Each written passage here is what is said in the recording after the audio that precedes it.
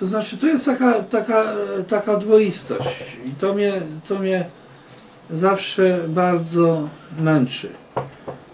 Ja uważam, że dla, takiej, dla takich bieżących spraw, dla bieżącego życia ludzi w Bieszczadach tutaj, to festiwal w Bukowcu, festiwal Lesku, Uszczykaniec, przede wszystkim festiwal Wołosaty, Legenda.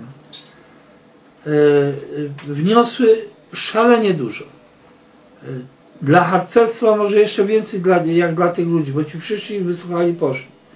A dzięki tym festiwalom powstały śpiewniki, piosenki. W pewnym momencie 2,5 miliona ludzi miało co śpiewać.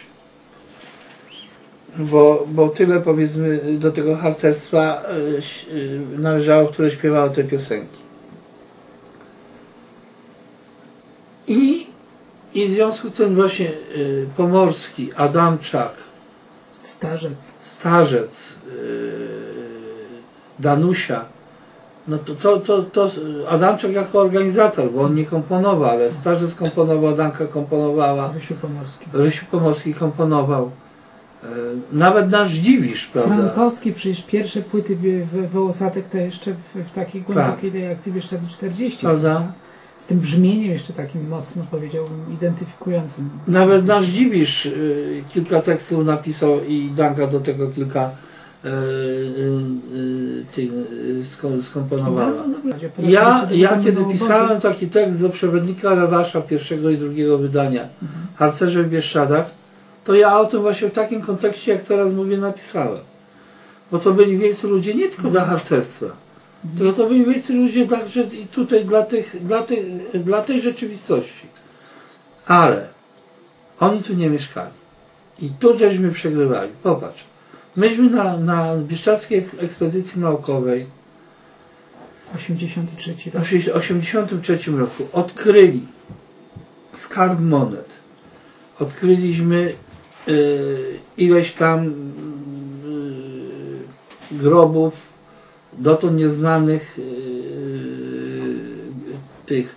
Zrobiliśmy ścieżkę, nauk, ścieżkę Jarka. y, Jak ją zobaczył obecny dyrektor parku Winnicki, to ją porwał, schował i później zastosował nasze oznaczenie do wszystkich innych ścieżek, które w tej chwili są robione, a tak fachowo jak ona została zrobiona, to, to nigdzie nie było.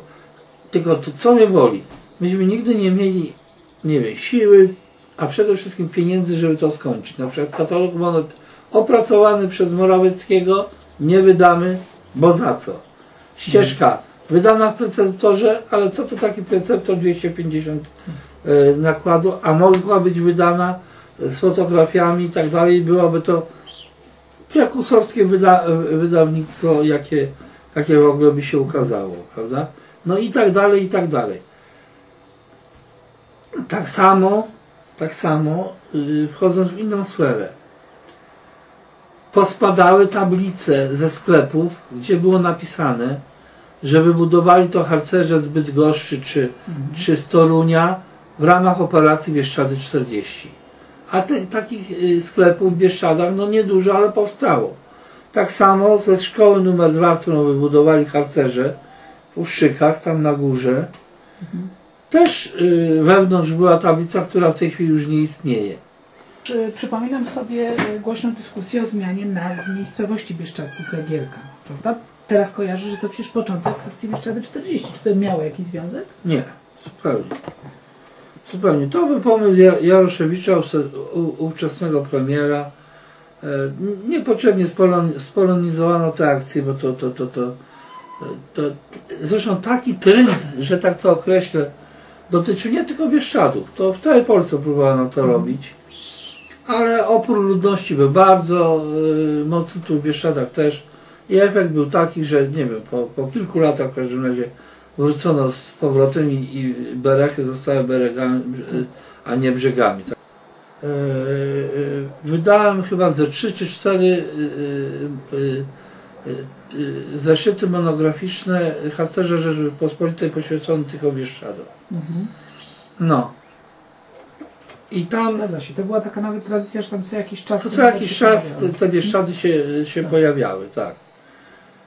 I, i, i jeden z tych, jedna z tych gazet była w całości poświęcona operacji Bieszczady 40 i ja tam y, zamieściłem w życiorysy czterech ważnych według mnie y, komendantów y, stanic. No powiedzmy to była Danka Rosner, to był y, Derus, komendant, komendant kolejarzy w Dołżycy. Ja uważam, że poza naprawdę nielicznymi wyjątkami, jak na przykład e, komendantem jednego obozu, bo trudno nazwać było stanicą, który chodził zalany od rana do wieczora i nie wiedział, co się w ogóle dzieje go wyrzuciłem z operacji, za co zresztą miałem ogromne kłopoty, to ci ludzie byli naprawdę wszyscy znakomici, no rewelacyjni.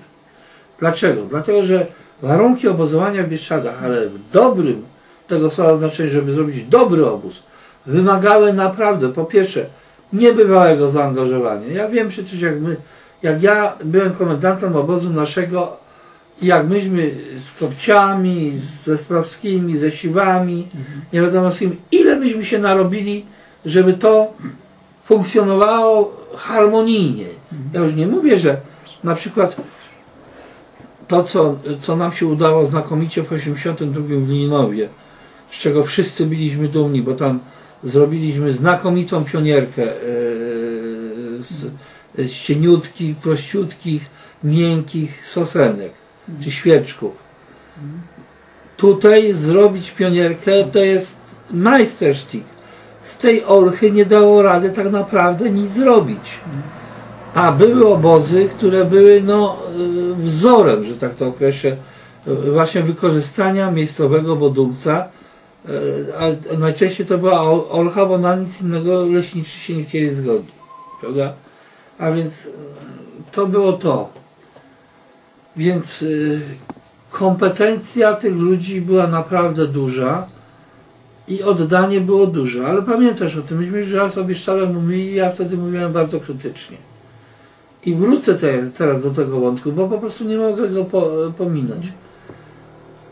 Na obozach, na stanicach, w stanicach bieszczadzkich się piło. No wykazały to jednoznacznie badania przeprowadzone, przeprowadzone wśród młodzieży. 72% wskazań było takich, że kadra pije.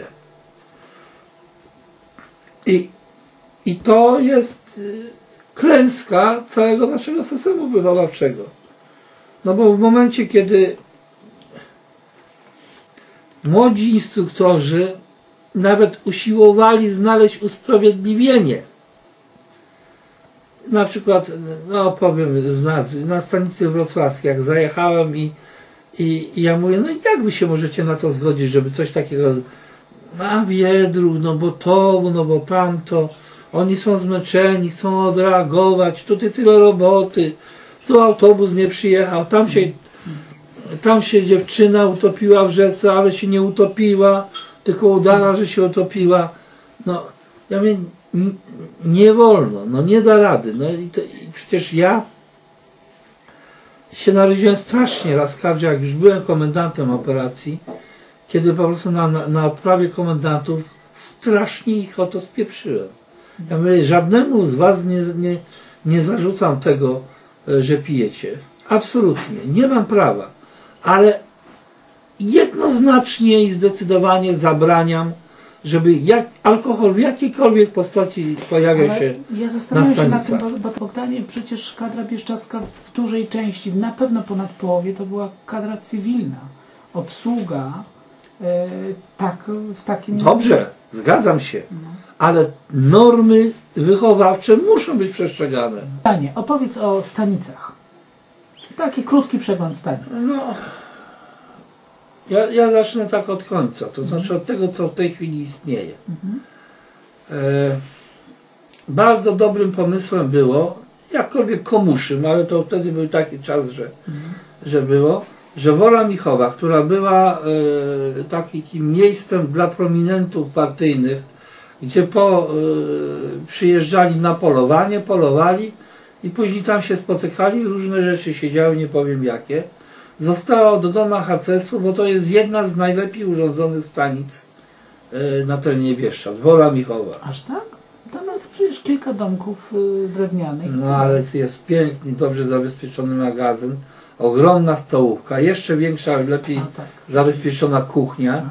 Tak. Bo te domki to, to wiesz, one nie muszą w ogóle być, bo wystarczy postawić dobrze zabezpieczone namioty. Ale zaplecze y, kotelmistrzowskie jest. Zgadza się. Na dole, na dole jest zakole Osławy, gdzie płynie, gdzie można się naprawdę Tak. w naturalnych warunkach, jak w basenie kąpać. Tak mało gdzie jest Jak, głęboko. absolutnie. I na dodatek wszystkiego leży nad, nad y, y, y, y, kolejką woskotorową, gdzie Tak. jak żeśmy tam mieli y, y, y, obóz, tośmy robili napady co 5 dni. I tak się cieszył maszynista zawsze, jak jechał, I turyści. a, trąbił już, że jedzie, że jedzie, a my tam z krzaku wyskakiwaliśmy, pomalowani na, na czerwono i żeśmy na niego napadali. On się zatrzymywał, myśmy turystom rozdawali cukierki i jechali dalej. No i tak, tak więc, więc Wola Michowa. pierwsza ta wola Michowa. Druga, bardzo mi- mnie osobiście to, to, to zawiodło, ale przez długie lata to była Liszna, gdzie powstały te dwa e, takie szałasy, bardzo dobrze zrobione, gdzie świętej pamięci Gebert e, e, wybudował szambo i, i, i, i, i, i, i umywalnię. I to szambo to było naprawdę przykładowe dla całej operacji, bo żadna poza suchymi rzekami przypadkowo, to ża- żaden inny, aha, no i, i Wrocławie. E, Trzecia stanica dobrze urządzona po, po Lisznej, ale Liszna w tej chwili bardzo potupadła. To jest, to jest stanica Czarnej y, wrocławska. Ona naprawdę y, tam zafunkcjonowała znakomicie. Do dzisiaj jest do, w dobrym stanie utrzymana, co jest ewidentnie zasługą obecnego zastępcy, ówczesnego kwatermistrza chorągwi. Do dzisiaj się tam nic nie zmieni. Urządzone naprawdę genialnie, może nawet najlepiej w tej chwili w Bieszczadach, to jest y, stanica Tarnobrzeska y, na Hercie. Tam jest y, naprawdę w tej chwili, ale to wynika z tego, że tam się bardzo, bardzo mocno zaangażowało miasto i chyba tego nikt nie ukrywa, tam za darmo lub za pół darmo przyjeżdżają notable, prawda, miejscy i, i sobie tam odpoczywają. Duże boisko, duże, dobrze wyposażone umywalnie, y, dobrze funkcjonująca kuchnia, magazyn sprzętu, no nieźle, nieźle.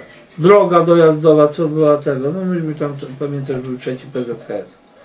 Kolejną stanicą, też chyba y, jedno z lepiej urządzonych, albo może nawet i najlepiej, to będzie Dwerniczek. Katowicka. A mówisz o łódzkiej, obecnej. O, Wtedy- obecnej Pabianickiej. Tak. Katowicka Dwerniczku, to znaczy tu Dwernik, a tu Dwerniczku Katowicka podupadła. Katowicka podupadła, bo tam poza mostem, to tam od wielu, wielu lat nie zainwestowano nic. I co było, tak jest. No i tam w ogóle przestano ostatnio robić obozy, co jest w sumie e, śmiercią dla stanicy. Mhm, no tak. Zaraz obok, wczoraj tam nawet byłem, przyglądałem się temu troszeczkę. Ale tak generalnie nie najgorzej, ale też niedokończone, bo nie pozwolono naszemu przyjacielowi Andrzejowi Starcowi dokończyć tego. No to jest nasiczno, prawda? Nasiczno. Ale opowiedz jeszcze o, o, o Do tym niedawna- odbiorniku, y, o, o, tym, o tej stanicy, bo to jest ciekawa historia. No w Werniku to, to było tak, że to kiedyś była własność prywatna jednego z lepszych rze- rzeźbiarzy y, Hesa. Bieszczadzki tak. On to sprzedał, yy, on to sprzedał właśnie Pabianicą. Chyba nawet nie sprzedał, on to chyba im... Nie, nie, nie, sprzedał, Sprzedał. absolutnie. Sprzedał i za te pieniądze wyjechał w Koszalińskie, za te pieniądze yy, i zarobione trochę na wykładach w RFN-ie jeszcze wtedy. Wybudował tam sobie haciendę i, i coś tam. Natomiast tutaj do, do tego dobudowano duży magazyn sprzętu. Pabianicom bardzo pomagały władze miejskie Ja nie będę mówił o kulisach, bo trochę wiem, a to jest jak gdyby nieistotne. Tam wybudowano, e, jak my to nazwaliśmy później pałacyk, to znaczy, to znaczy toalety, prysznice, taki domek powstał. No i ta stanica e,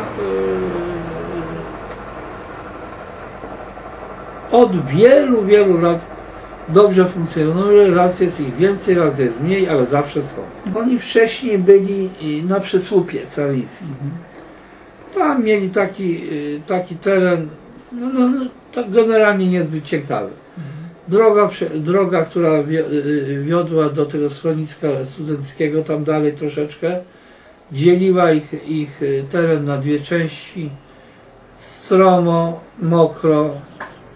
Jedyny walor, y, jaki był tak naprawdę, to były borówki, które porastały. No jednak lokalizacja w pobliżu Połami Calińskiej no, No, jest też. Generalnie jako, jako, jako lokalizacja tak, ale warunki tam, No tak. a wszystko trzeba było za każdym razem od nowa budować. No a to, to jest ogromnie uciążliwe. Nasiczne. No, nasiczne to już mówiłem. E, y, Szkoda, że się. No ten kontener tam rozwiązał sprawę w zasadzie Tak, tak, tam do przywiezie. dziś, na zawsze. No, No, przywieziono kontener, w którym zrobiono magazyn i to, to dobrze funkcjonuje. Nie, łącznie razem to budyneczki wszystkie, które tam powstały, y, stanowią takie y, y, do, dobry ten, tylko że w moim odczuciu za każdym razem, ja się nie widziwie, ale za każdym razem tam jest za dużo ludzi. Mhm. Za dużo ludzi. Po prostu mm, oni tam były takie momenty, że tam nawet było jednorazowo 400-500 osób. No, słuchaj, że też było raz 505 osób. Prawda? Ale oni tam za każdym razem przyłożą strasznie dużo. Natomiast to jest yy, takie miejsce, gdzie spokojnie mogłoby obsługiwać obozy 150-200 osobowe i akurat by było.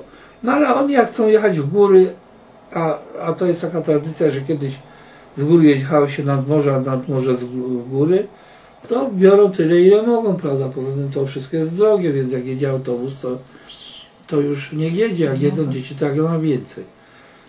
No o Suchy Rzeka to nie będę specjalnie opowiadał, bo jak jest, to tam Opowiesz o nich osobno. osobno to, y, opowiemy sobie, ale warunki do obozowania na terenie Suchy Rzek uważam, że są też świetne. W Rajskim. O. Rajski, górnictwo. Górnictwo. Tak.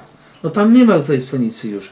To była dobra stanica, tam był dobry teren, on był uzbrojony, tam była woda, tam był prąd, tam było sucho, tam było równo, tam były zagajniczki i oni jak tam, tam były, były dwa baraczki i oni jak tam przyjeżdżali, to, to raz, że, że to ci młodzi górnicy to, to harowali jak woły i tam to było zawsze dobrze urządzone. Kadra może była taka trochę, no, No, górnicza, prawda?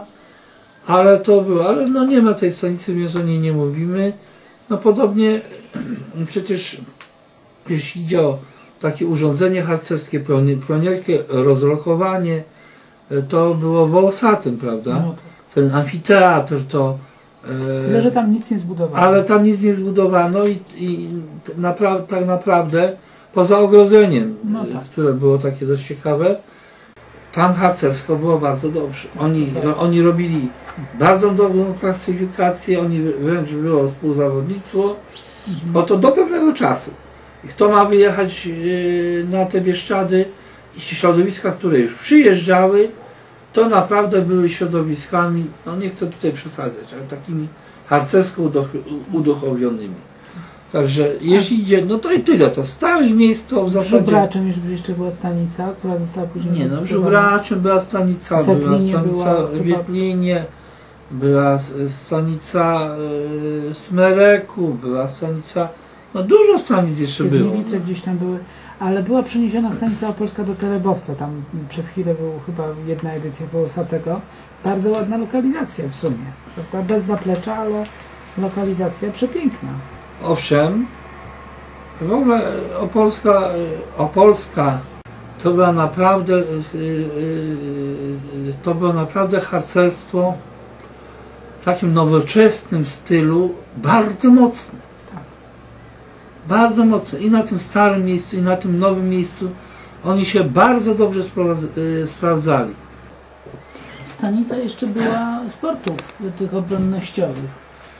A no tak, to, to było specyficzne przedsięwzięcie. Tak. Specy- specyficzne to było przed Lubelską. No, o Lubelskiej żeśmy jeszcze nie powiedzieli. W Chorzowczyku była Lubelska. I, I wtedy, kiedy była tą komendantką tej stanicy Tuchna Jadwiga Kowalska, w ogóle ona miała dobre warunki, bo tam były te trzy domki, których, które stanowiły swoiste zaplecze, dobre zaplecze. E, Ona była dobrze położona, bo wprawdzie dość daleko od tych domków, ale jak już się wlazło na tą górę, to ten obóz jak chciał, jak miał ktoś pomysł, to naprawdę był dobrze urządzony. Oni tam wynajmowali, wy- wynajmowali we wsi magazyny i to wszystko było tam składowane, nie trzeba było tego wozić. W każdym razie krótki, bo krótki, ale był moment, tak w latach e, 84-88, jak gdyby takiej e, wielkości tej stanicy. A tuż przed nimi było, była taka ćwiczebna stanica Inspektoratu Specjalności Obronnych, gdzie profesor już w tej chwili Sławomir Mazur e, przywoził swoich studentów i po prostu z nimi przeprowadzał praktyki. To było takie harcerstwo szemrane trochę. On sam był instruktorem, miał tam kilku instruktorów e, z Inspektoratu Specjalności Obronnych, który był założony nie, nie powiem, że nie przeze mnie, bo przeze mnie. Znaczy ja wyraziłem zgodę na to i byłem jednym e, z tam inspiratorów tego. No i były też jeszcze zasoby typu słupek, prawda, które nadawały. e, No nie, no nie, nie, nie, no to, to ja już tu o lokalnych na razie proponowałbym, żebyśmy przez, nie mówili, bo to trzeba do tego jeszcze osobno wrócić. Ja myślę, że na razie tyle. Być może, że jeszcze dzisiaj się nam coś uda e, zrobić, ale jak nie, o chciałbym to i tak będzie, jest to już bardzo dużo druchu śliwa.